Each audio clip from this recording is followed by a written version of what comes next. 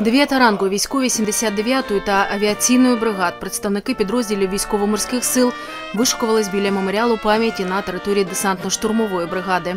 О 4.30 ранку в районі населеного пункту Зеленопілля Луганської області з реактивних систем залпового вогню БМ-21 «Град» незаконними збройними формуваннями були обстріляні позиції підрозділів 1-ї батальйону тактичної групи та підрозділи гаубічної артилерійської дивізіону 79-ї Миколаївської аеромобільної бригади на той час, а також підрозділ 24-ї окремої механізованої бригади та підрозділ Державної прикордонної служби України.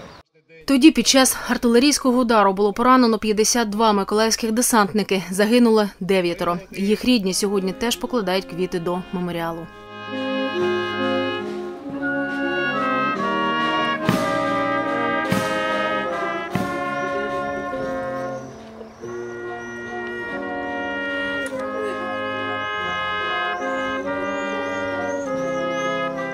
Я втратила саме найрідніше це свого синочка, якому виповнилось 20 років.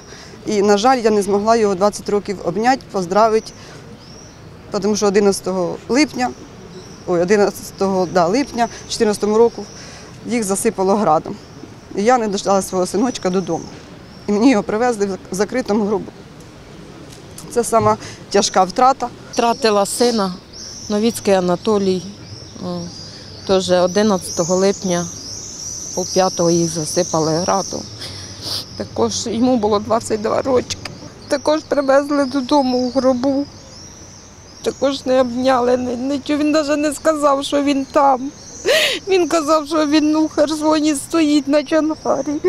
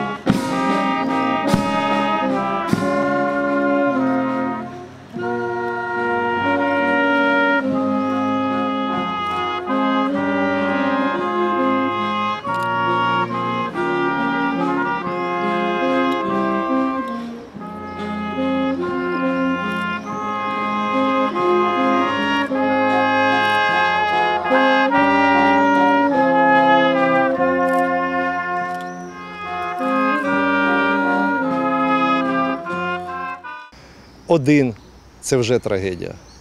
А якщо дев'ять, це вже багато разів більше горя для родин, для нас, командирів, які втрачають особовий склад.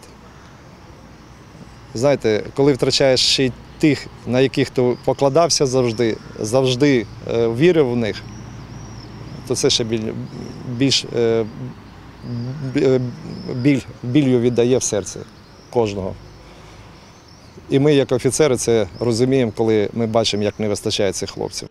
Військовослужбовець 79-ї бригади Олексій Мірошников брав участь у евакуації поранених. Перші враження від того, що побачив шок. Поступил приказ выехать на эвакуацию. Мы с майором... Поступив наказ виїхати на евакуацію. Ми з майором Кашаповим, царство йому небесне, загинув також він. Виїхали на евакуацію. І коли побачили, що там було, там був шок. Я був шокований вперше за цей час. Я до кінця не вірив. Все горить, багато трупів, багато поранених. І не знаю, що робити. Хто з нашої бригади, хто чужий там. І коли прилетів вертоліт, дуже багато поранених, багато важких. І ми тоді вже з полковником Сергієм Кузом не могли навіть, ви знаєте, найстрашніше було, коли вертоліт може прийняти на борт всього лише 10 чоловік, а їх там 15. І не знаєш, кого вантажити, хто важкий, хто не важкий. Було страшно. Кто тяжелый, кто не тяжелый. Ну, было страшно. Під Зеленопіллям 11 липня 2014 року загинуло 36 військових та прикордонників. Сьогодні хвилиною мовчання вшанували їх пам'ять. На їх честь відслужили молебень. Марія Савицька, Юлія Кускова, телевізійні новини Миколаївщини.